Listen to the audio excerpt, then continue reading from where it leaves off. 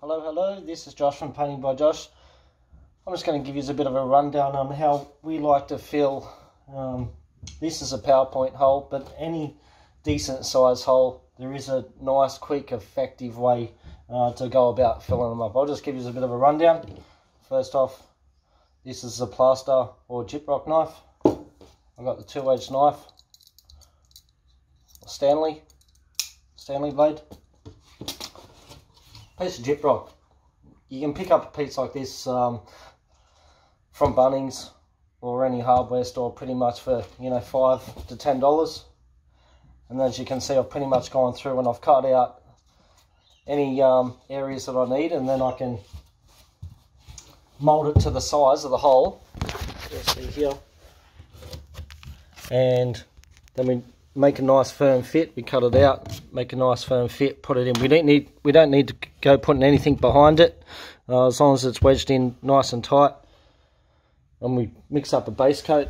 Right here, what we're using, we're using this is just a base coat mix, just with water. Obviously, the more that you mix it, the quicker it's going to go off. So if you just put a bit of water in there, mix it only, you know, um, only a little bit, it will tend to stay wet for a couple of hours base coat can. All depends on how you want to mix it. It depends on how quick and fast it's going to set.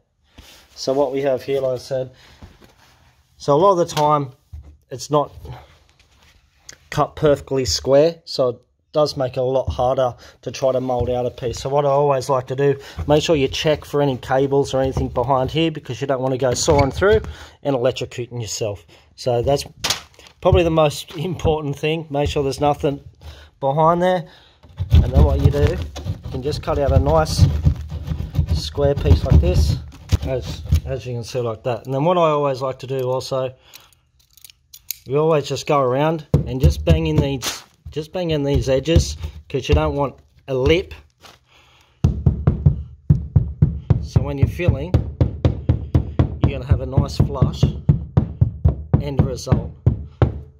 So really, if I wanted to, I could just cut this out, put this in here, mix up the base, plaster it once, and really, that would be fine. After you give it a sand, if you just overfill a little bit, all you'll need is one base coat. But we always go through, sand it again, give it a quick skim coat, and then that's the end result. So one base coat, one skim coat, and you that should all really you need. Oh, do we just grab our gyprock knife. You can measure it or mark it out first. Or you can just cut a section out like this, just guess, and then just put it in, and then you can sort of work out what you need to do. So that's what I use the, the other blade for, because we can just go through, careful of your hands obviously, don't want to go cutting your fingers off, but then you can just sort of break it away to a point where you just got to slowly keep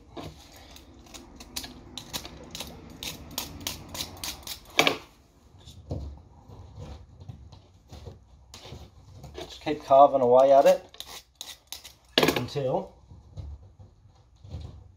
I've got the base coat here so I made this base coat up probably about uh, 40 minutes ago or something like that and it's still completely completely um, usable. I'm going to go straight over like that. Probably best take off the PowerPoint.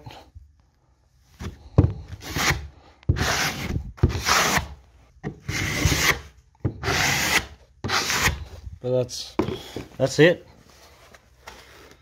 So really it's a quick, simple, easy, effective process for filling up PowerPoint holes or, you know, decent size uh, holes in your walls. So that's it for us. Hope you found this useful.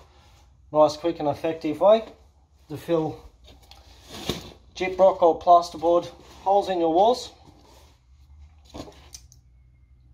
Stanley knife,